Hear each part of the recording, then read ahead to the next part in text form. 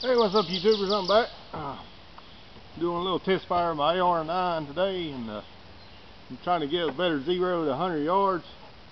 Uh, I don't know if you watched my earlier video, but I was talking about using uh, AR-9 Glock mags as, and my Glock 19 is part of an anti-active shooter uh, kit, so to speak. And uh, here's some more food for thought. Okay, I know Pops Quest.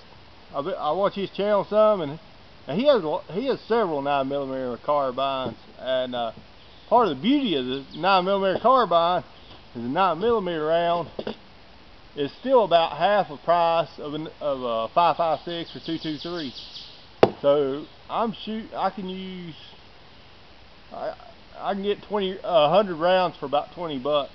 And uh, another thing I'm seeing you could, and you may not thought about this, the ammo and the magazines take up less space than than uh, 223 AR-15.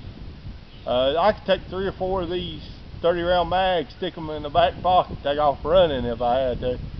So uh, there's just more food for thought, and just going to fire this thing a few times now.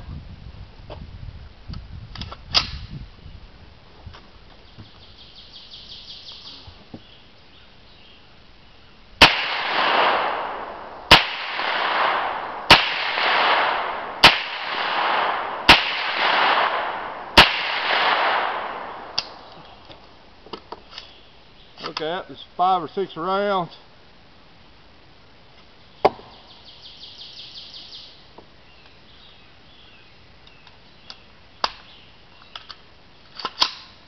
May do a little rapid fire or something here, I don't know.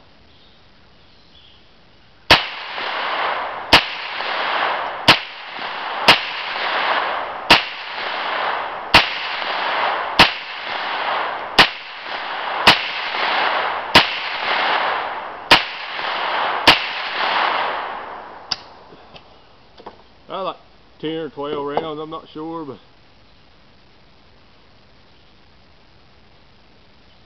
wasn't quite exactly a rapid fire, more of a aimed rapid fire silhouette I got down range. Alright, John Rambo, I'm out.